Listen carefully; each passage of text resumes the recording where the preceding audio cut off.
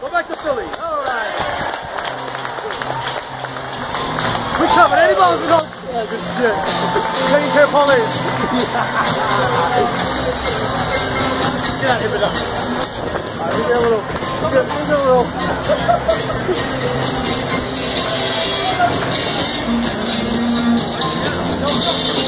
A little all right. Ladies and gentlemen, the Mets Foundation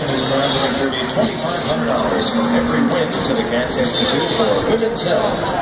Today's win brings the total contribution this season to $130,000. For more information, visit lakeshorelij.com slash KIWH.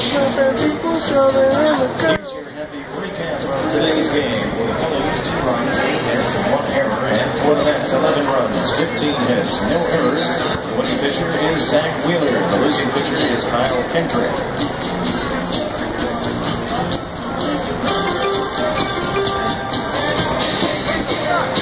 The Mets won, so you win. Because the Mets won today's game, everyone in attendance gets 15% off at hotels. Just bring your tickets to the game to your local New York, New Jersey, Modell Sporting Goods store. Show the stuff at checkout and receive 15% off your purchase on regularly priced merchandise. Restrictions apply. All right, bye, Mets.